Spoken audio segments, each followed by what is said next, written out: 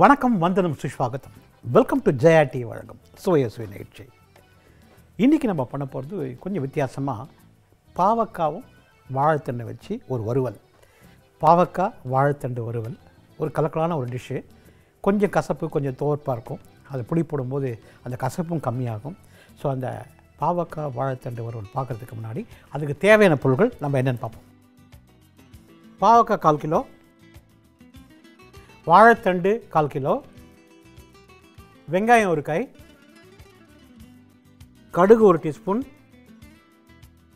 தனியாத்தூள் மூணு டீஸ்பூன் மஞ்சள் தூள் அரை டீஸ்பூன் மிளகாத்தூள் ரெண்டு டீஸ்பூன்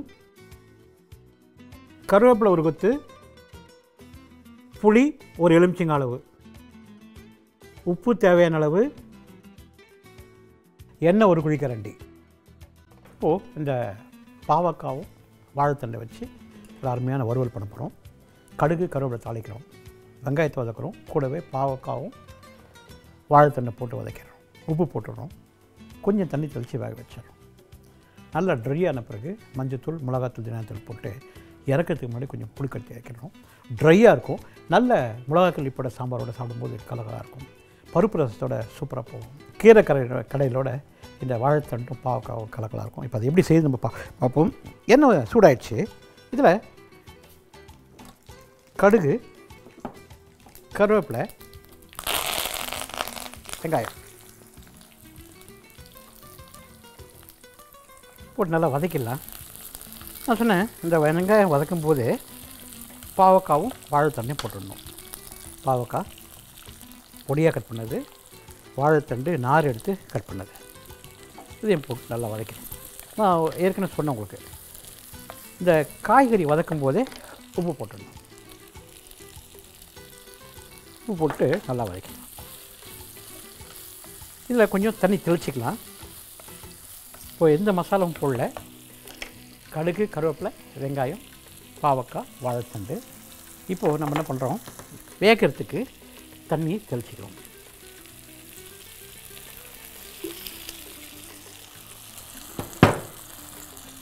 போட்டு நல்லா வதக்கலாம் வேகட்டும். சாதாரணமாக பாவக்காய் அப்படின்னு சொல்லும்போது ஸ்டஃப்டு பாவக்காய் கலகலாக இருக்கும். தலையும் வாதையும் கட் பண்ணிவிட்டு நடுவில் கீரல் போட்டு நீட்டாக அந்த விதையை எடுத்துடணும். விதையை எடுத்துட்டு வாஷ் பண்ணிடுங்க. உருளைக்கிழங்கு வேக வச்சு அதில் மஞ்சள்தூள் மிளகாத்தூள் தனியாத்தூளை போட்டு உப்பு போட்டு வெங்காயத்தையும் போட்டு நல்லா பிசைஞ்சு அந்த கீழே போட்ட அந்த பாவக்காய் உள்ள அதை வச்சு ஒரு நாரில் கட்டிடணும். மேலே கொஞ்சம் தனியாக தட்டில் மஞ்சத்தூள் மிளகாத்தூள் தனியாத்தூள் உப்பு கொஞ்சம் புளி போட்டு ஒரு பேஸ்ட் மாதிரி பண்ணி அந்த பாவக்காய் மேலே தடவிடணும். ஒரு அஞ்சு நிமிஷம் ஊறின பிறகு என்ன பண்ணணும்? தவா தோசை தவாவில் நல்லெண்ணெயை விட்டுட்டு இந்த பாவக்காய் ப்ளேஸ் பண்ணிடணும். வச்சுட்டு மூடி போட்டுருங்க. ரெண்டு பக்கமும் நல்லா வெந்த பிறகு அதை எடுத்து ஸ்லைஸ் பண்ணிவிட்டு அதாவது ஒரு தின்ன அந்த மீன் துண்டு கட் பண்ணுற மாதிரி கட் பண்ணி அந்த தட்டில் வச்சு சாப்பிடும்போது அந்த பாவக்காவும் வெந்திருக்கும் உருளைக்கிழங்கு கூட சாப்பிடும்போது ஒரு கலக்கலான ஒரு டேஸ்ட்டு ஸ்டஃப்டு பாவக்காய். இன்னொன்று பார்த்தீங்க அப்படின்னா பாவக்காய் மெலீஸாக கட் பண்ணணும். மெலீஸாக கட் பண்ணிவிட்டு அதில் மஞ்சத்தூள் மிளகாத்தூள் தனியாத்தூள் கொஞ்சம் வெல்லம் உப்பு புளித்தண்ணி எல்லாத்தையும் போட்டு நல்லா பரட்டிட்டு வெறும் கடாயில் எண்ணெய் விட்டு கருவேப்பிலை மாத்திரம் போட்டு தூவனா மாதிரி போட்டு நல்லா ட்ரை பண்ணணும். மொறு மொறு மொறுன்னு இருக்கும். நல்ல மிளகா கல்லிப்பட்ட சாம்பாரோட இந்த மொறுமொறுப்பான இந்த பாவக்காய் சாப்பிடும்போது கலக்கலான ஒரு டேஸ்ட்டு பாவக்காய் வந்து உடம்புக்கு ரொம்ப நல்லது. நம்ம வந்து எதெல்லாம் கசப்போ அதெல்லாம் சாப்பிட்றதில்ல. உடம்புல இருக்க கிருமிகள் அழைக்கக்கூடிய சக்தி பாவக்காய் இருக்குது அதே மாதிரி சர்க்கரை வியாதி நிறைய பேர் வந்து பாவக்காய் சாப்பிடுவாங்க. அதனால் பாவக்காவை தயவுசெய்து வாரத்தில் ஒரு நாளாவது சாப்பிடுவாங்க இப்போது இந்த வாழைத்தண்டும் பாவக்காவும் தொண்ணூறு பர்சன்ட் குக் ஆகிடுச்சு இப்போ நான் என்ன பண்ணுறேன் இதில் மஞ்சத்தூள் மிளகாத்தூள் தனியாத்தூள் போட போகிறேன் மிளகாத்தூள் போட்டேன். தனியாத்தூள் போடுறேன். அதே மாதிரி மஞ்சத்தூள் போட்டேன். உப்பு ஆல்ரெடி போட்டேன் இதுலேயே கொஞ்சம் கொத்தமல்லியும் போடுறேன். இப்போ என்ன பண்ணுறேன் நல்லா வதக்கிறேன். நான் சொன்னேன் இது வறுவல். நல்லா ட்ரையாக வரணும். நல்லா ட்ரை ஆகணும். பரப்பின மாதிரி வச்சுக்கலாம். மசாலா நல்லா மிக்ஸ் பண்ணிட்டு பரப்பின மாதிரி வச்சுக்கணும். ஒரு டென் பர்சன்ட் இந்த பாவக்காய் வாழைத்தண்டு வேகணும். வெந்து வரவர்களும் will go for a short commercial break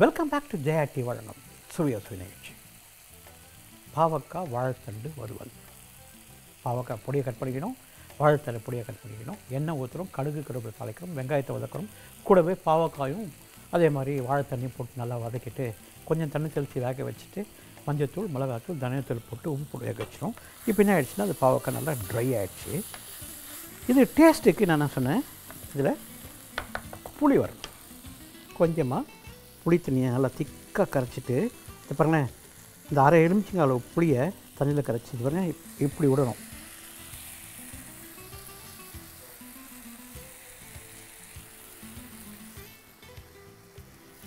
இப்போது ஒரு கிண்டு கிண்டிக்கலாம்.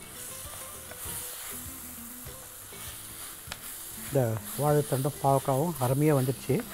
நான் சொன்னேன் ஒரு மிளகா கழிப்பிட சாம்பாரோடையோ இல்லை தயிர் சாத்தோடையோ ஒரு கீரை சாத்தோடையோ ஒரு ரச சாத்தோடையோ சாப்பிடும்போது கலக்கலான ஒரு டேஸ்ட்டு சப்பாத்தியில் தொட்டு சாப்பிட்டாலும் கலக்கலாக இருக்கும். இப்போது ரெடி ஆயிடுச்சு. அடுப்பு அணைச்சிடுறேன். இதை ஒரு தட்டில் போடுறேன்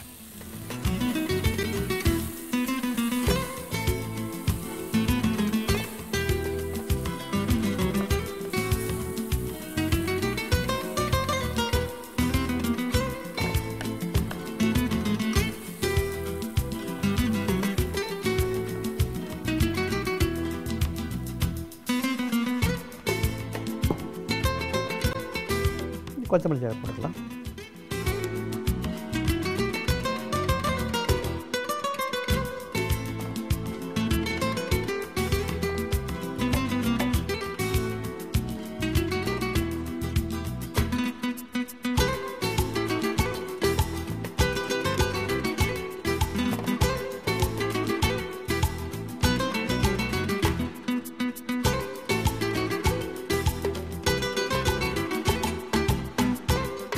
சூப்பரான ஒரு பாவக்காய் வாழைத்தண்டு வறுவல் உங்களுக்கோசரம் ஜெயா டிவி சுவை சுவையிலேருந்து கொடுத்துருக்கோம். கண்டிப்பாக அதுக்கு பிடிச்சிருக்கு நினைக்கிறேன்.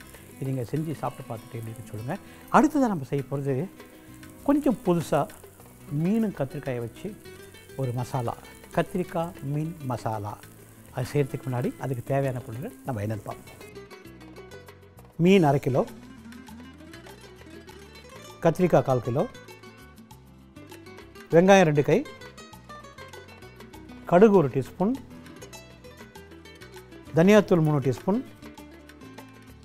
மஞ்சள் தூள் அரை டீஸ்பூன் மிளகாத்தூள் மூணு டீஸ்பூன் கருவேப்பிலை ஒரு கொத்து புதினா ஒரு கை கொத்தமல்லி ஒரு கை இஞ்சி பூண்டார ஒரு டீஸ்பூன் புளி ஒரு எலுமிச்சங்க அளவு. எண்ணெய் ஒரு குழிக்கரண்டி உப்பு தேவையான அளவு. இப்போது கத்திரிக்காய் மீன் மசாலா.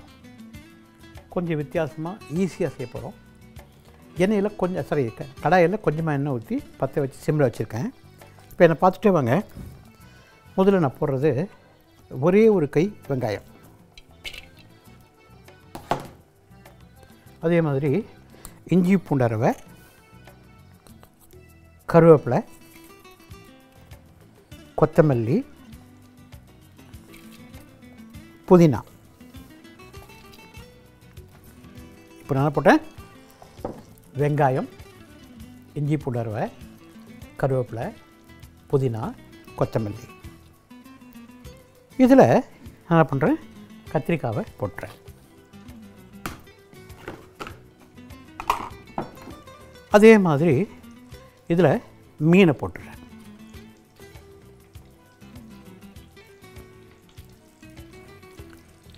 வெங்காயம் புதினா கொத்தமல்லி கருவேப்பிலை இஞ்சி பூண்டு ரவை கத்திரிக்காய் மீன். இப்போது நான் என்ன பண்ணுறேன் மிளகாத்தூள் மூணு டீஸ்பூன் சொல்லியிருக்கேன். அந்த மூணு டீஸ்பூன் மிளகாத்தூளை போட்டுறேன். அதே மாதிரி தனியாத்தூள் மூணு டீஸ்பூன். தனியாத்தூளையும் போட்டுறேன்.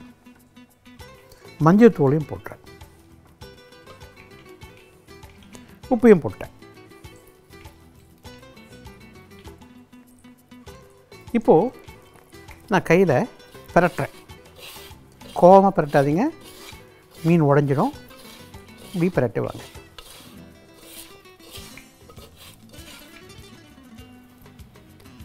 பிரட்டிட்டு ஒரு எலுமிச்சங்கால புளியை தண்ணியில் போட்டு வச்சுருக்கேன் அந்த புளி தண்ணியை திக்காக கரைச்சி இதில் ஓட்டுறோம்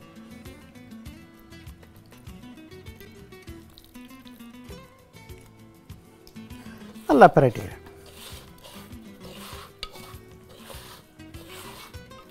பரட்டிட்டு ஒரு அஞ்சு நிமிஷம் ரெஸ்ட் பண்ணுவோம். அதாவது ஊற வைக்கணும். அஞ்சு நிமிஷம் ஊற வரணும் will go for a short commercial break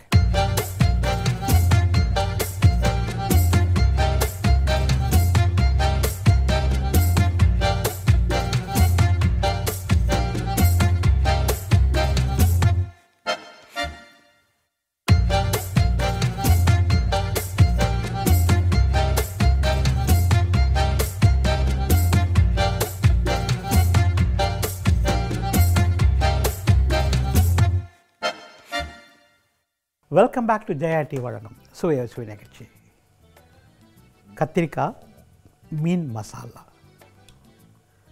ஒரு சட்டியில் முதல்ல கருவேப்பிலை வெங்காயம் கருவேப்பிலை கொத்தமல்லி புதினா இஞ்சி பூண்டு அரவை மிளகாத்தூள் தனியாத்தூள் மஞ்சத்தூள் மீன் கத்திரிக்காய் போட்டு உப்பு போட்டு புளி தண்ணியை விட்டு ஊற வச்சிட்டோம் அடுத்ததாக எண்ணெய் சூடாயிடுச்சு இந்த எண்ணெயில் கடுகு தாளிக்கிறோம்.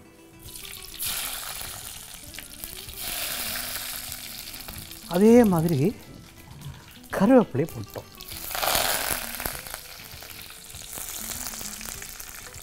இப்போது இந்த மீனை தூணா மாதிரி போடுறோம் மீனும் கத்திரிக்காயும் தூணா மாதிரி போடுறோம்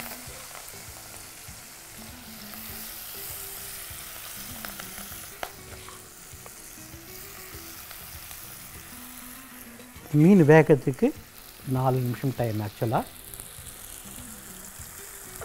இது ஒரு மசாலா மாதிரி வரும். ட்ரையாக இருக்கும். தண்ணியாக சாம்பார் வைக்கணும். தண்ணி சாம்பார் எப்படின்னா ஊசி மிளகா. அதை நீட்டாக கீறிக்கணும். தோரம்பருப்பு தக்காளி பழம் பெருங்காயம் மஞ்சத்தூள். அரை அழகாக்கு தோரம்பருப்பு அப்படின்னா நாலு கிளாஸ் தண்ணி. விட்டு குக்கரில் மூணு விசில் பத்து நிமிஷம் சிம்மில் வேக வச்சிடணும். ஒரு பக்கத்து கடாயில் எண்ணெய் ஊற்றிட்டு கடுகு காஞ்சி மிளகா கருவேப்பிலை பெருங்காயத்தை தாளிச்சிட்டு வெந்தயம் போட்டு சின்ன வெங்காயத்தை அப்படியே வதக்கிட்டு அந்த ஊசி மிளகாயம் போட்டு வதக்கிட்டு இந்த வெந்த பருப்பையும் கொட்டிட்டு நல்லா கொதி வரும்போது என்ன பண்ணோம் இந்த புளி தண்ணியை விட்டுணும் தண்ணியாக இருக்கும் சாதத்தை குழைய உடைச்சிக்கணும் இந்த தண்ணி சாம்பார் போட்டு குழ பிசைஞ்சு இந்த மீன் மசாலா கத்திரிக்காயோட சாப்பிடும்போது பார்த்தீங்கன்னா டாப் நாச் அதே மாதிரி பருப்பு ரசம் சூப்பராக இருக்கும் தக்காளி சூப்பு அதோட சாதத்தில் போட்ட தக்காளி சூப் இந்த மீனுக்கு எப்படி வாழைக்காவும் கருணக்கிழங்கு இது மே போகுமோ அதே மாதிரி இந்த மீனும் அந்த தக்காளி சூப்பு சூப்பராக இருக்கும். அந்த தக்காளி சூப்புன்னு சொல்லும்போது பார்த்திங்கன்னா தக்காளி பழம் கொஞ்சம் பருப்பு வெங்காயம் பச்சை மிளகா தட்டி போட்டு இஞ்சி பூண்டு மஞ்சள் தூள் மிளகாத்தூள் தனியாத்தூள் போட்டு தண்ணி ஊற்றி நல்லா வேக வச்சிடணும் அதை வேக வைக்கும்போது கொஞ்சம் சீரக மிளகம் தட்டி போட்டு அந்த சூப்பில் போட்டுடணும் இதே மாதிரி சாத்தில் குழைய வடித்து அதை சூப்பை போட்டு பிசைஞ்சு சாப்பிட்டிங்க அப்படின்னா இந்த மீன் துண்டோட கலக்கலான ஒரு டேஸ்ட்டு. நான் சொன்னேன் எனி மீன் வேகிறதுக்கு வந்து நாலு நிமிஷத்தில் இந்த மீன் வந்துடும் இந்த ஊறினதால் கத்திரிக்காயும் அந்த நாலு நிமிஷத்தில் வந்துடும் ஆனால் இளமாக கத்திரிக்காய் வச்சுருக்கோம். அதனால் அதுவும் அது வந்துடும் இப்போது இந்த மீனை திருப்பி போடலாம்.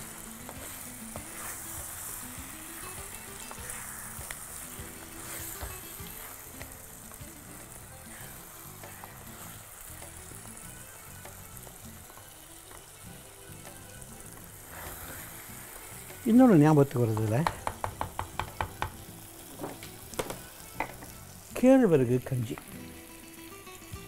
கேழ்வரகு நெய் அரிசி போட்டு வேக வச்சுட்டு நல்லா தண்ணி ஊற்றி தொட்டு பார்த்தா ஒட்டாத பண்ணும் அது நல்லா கரைச்சிட்டு உப்பு போட்டு தயிரை விட்டுட்டு நல்லா அடிச்சுட்டு தட்டில் ஊற்றிக்கணும் அப்படி குடிக்கிறது தட்டில் விளிம்பு வச்ச தட்டில் ஊற்றிட்டு இந்த மீன் துண்டு வச்சு சாப்பிட்டிங்கன்னா நல்லடா சூப்பராக இருக்கும். இந்த மீன் மசாலா சூப்பராக ரெடி ஆகிட்டுருக்கு நான் சொன்ன வேகிற டைம் வந்து நாலு நிமிஷம். ரெண்டு நிமிஷத்தில் வெந்துருச்சு. இன்னும் ரெண்டு நிமிஷம் இருக்குது ரெண்டு நிமிஷத்தில் அருமையாக வெந்துடும் இந்த மீன் அப்படின்னு சொல்லும்போது எல்லாருக்குமே இப்போ மைண்டில் தோன்றது எந்த மாதிரி மீன் நான் யூஸ் பண்ணிருக்கேங்க? நம்ம யூஸ் பண்ணுறது வஞ்சர மீன். சப்போஸ் உங்களுக்கு வஞ்சர மீன் கிடைக்கல. ஏதாவது துண்டு போட்ட மீன் வாங்கலாம். கொடுவாவோ இல்லை பாறை மீனோ வாங்கிக்கலாம். சின்ன மீன் வாங்கினீங்க அப்படின்னா இது மாதிரி பரட்டும் போது என்ன ஆகும்னா குழம்புக்கு தான் யூஸ்ஃபுல்லாக இருக்குமே தவிர இது மாதிரி மசாலாவுக்கு சரியாக வருது. அதாவது புண்டு போகிற மாதிரி ஆகிடும் அது என்னென்னா இந்த மீன் வந்து உங்களுக்கு சரியாக இந்த மாதிரி வராது. இந்த மாதிரி ஒரு செண்டு மாதிரி வராது. அதனால் மீனை வந்து ஒரு த தலை ஏதாவது தோலும் இல்லாமல் எலும்பு இல்லாமல் வாங்கி இது மாதிரி போடும்போது உங்களுக்கு டேஸ்ட் நல்லாயிருக்கும் சின்ன மீன் வந்து குழம்புக்கு நல்லாயிருக்கும் இந்த மாதிரி மீன் இந்த மாதிரி மசாலாவுக்கு நல்லாயிருக்கும் இன்னும் நீங்கள் யோசனை பண்ணிங்கன்னா கொத்தமல்லி கருவேப்பிலை புதினா மூணுக்கு இதில் போட்டிருக்கோம். அந்த மூணு மாசனையோட இந்த மீன் சாப்பிடும்போது ஒரு கலக்கலான ஒரு டேஸ்ட்டு ரெடி ஆயிடுச்சு.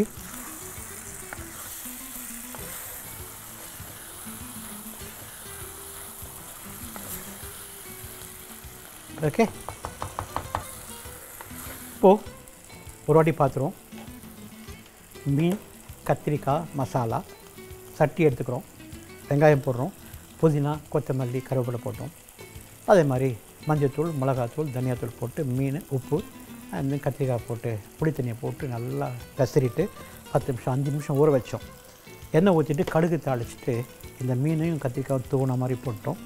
நாலாவது நிமிஷத்துக்கு இது ரெண்டும் ரெடி ஆகிடுச்சு ஒரு அட்டகாசமான ஒரு டிஷ்ஷு சைட் டிஷ்ஷு அதுவும் நான் சொன்ன மாதிரி ஒரு கஞ்சியோட கூட சாப்பிட்றதும் சரி இந்த மிளகா படம் சாப்பிடும்போது சரி கீரை சாதத்தை சாப்பிடும்போது சரி பருப்பு ரசத்தை சாப்பிடும்போது சரி கலக்கலாக இருக்கும். இந்த டிஷ் ரெடி ஆகிடுச்சு நாலு நிமிஷம் மேலே குக் ஆகிடுச்சு இப்போது இப்போ என்ன பண்ணுறோம் ஒரு பாத்திரத்தில் மாற்றிக்கலாம்